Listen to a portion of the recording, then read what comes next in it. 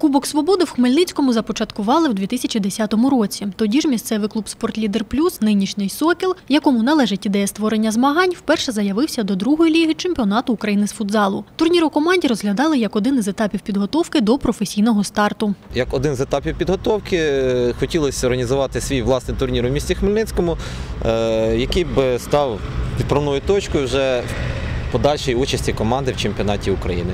Ну, Ця спонтанна така ідея. Бачите, вдалася, як на мене, в 2010 році, і поступово поступово розвивалася. І зараз ми вже можемо спостерігати за тим, що наш турнір вже носить статус міжнародного.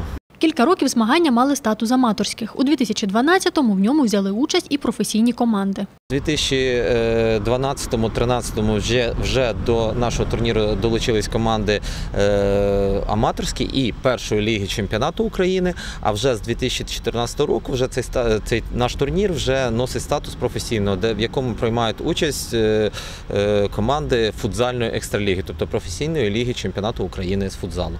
Рік тому турнір отримав статус міжнародного завдяки участі в ньому команди ВРЗ з Білорусі. Є вона й серед шести учасників цьогорічного Кубку Свободи. П'ять інших діючі гравці чемпіонату України з футзалу серед команд екстраліги. Серед них і Хмельницький Сокіл, на рахунку якого срібні медалі всеукраїнських змагань. Стартує турнір в Хмельницькому 16 серпня. Матчі Сокола ексклюзивно транслюватиме наш канал. Ярослава Антошевська, Сергій Захаров для інформаційного випуску.